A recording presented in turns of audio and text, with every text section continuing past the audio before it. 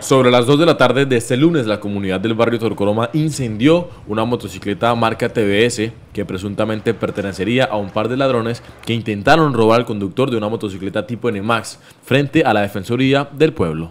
El conductor de una camioneta que transitaba por el sector reaccionó chocando a los ladrones y evitando que se concretara el hurto. Los motoladrones huyeron del lugar malheridos mientras el velocípedo se reducía a chatarra calcinada. Los ciudadanos mencionan que se encuentran preocupados por los constantes hurtos que se presentan en el sector. Asimismo, opinaron sobre el accionar en contra de los delincuentes. Esto es el pan de cada día aquí por esta cuadra. Todos los santos días pasan por acá, dos y tres, miran a alguien que está por ahí con el celular y de una vez le hacen las dos vueltas y tome, quítese. A mí me robaron el recreo hace poco también.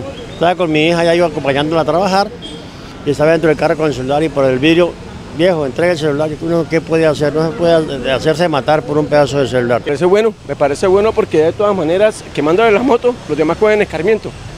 Entonces, yo bueno, si fuera uno que si, que si hubiera ladrón y la moto era de ellos, les zampo candela. Pero que toca quemar los ladrones también. Así se acaba el ladronismo. Les cuento que Barranca día tras día está supremamente difícil ya salir de la casa, eh, transitar, mucha moto, mucho, mucha delincuencia, de manera que esto está complicado.